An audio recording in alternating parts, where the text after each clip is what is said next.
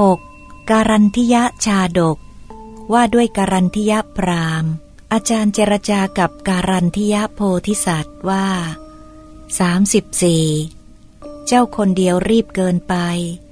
ยกหินก้อนใหญ่ทิ้งลงไปที่ซอกเขาในป่า นี่เจ้าการันทิยะ จะมีประโยชน์อะไรแก่เจ้า ด้วยการทิ้งก้อนหินลงที่ซอกเขานี้ การันทิยะโพธิสัตว์ฟังคำของท่านแล้ว ประสงค์จะปลุกอาจารย์ให้รู้สึก จึงกล่าวว่าสามสิบห้ากระผมเกลี่ยก้อนดินและก้อนหินลงไป จะกระทำแผ่นดินใหญ่นี้ ซึ่งมีสาครเป็นขอบเขต ให้เรียบเสมอดังฝ่ามือ เพราะฉะนั้น กระผมจึงทิ้งก้อนหินลงไปที่ซอกเขา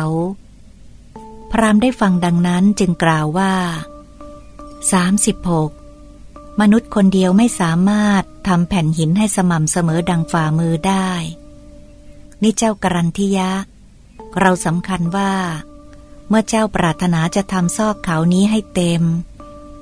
จะต้องละชีวโลกไปเสียก่อนกรันทิยะโพธิสัตว์ได้ฟังดังนั้น จึงกล่าวว่า 37ถ้ามนุษย์คนเดียวไม่สามารถจะทำแผ่นดินใหญ่ให้เสมอได้ ท่านพราหมณ์ ท่านก็เหมือนกันจากนำมนุษย์เหล่านี้ ซึ่งมีความเห็นต่างๆ กันมาสู่อำนาจของตนไม่ได้ อาจารย์ได้ฟังดังนั้น รู้ว่าตัวพลาดไปแล้ว จึงกล่าวว่า 38 เจ้าการันทิยะ เจ้าได้บอกข้อความที่เป็นจริงแก่เราโดยย่อ ข้อนี้เป็นเช่นนั้น แผ่นดินนี้มนุษย์ไม่สามารถที่จะทำให้เสมอได้ ฉันใด มนุษย์ทั้งหลายก็ฉันนั้น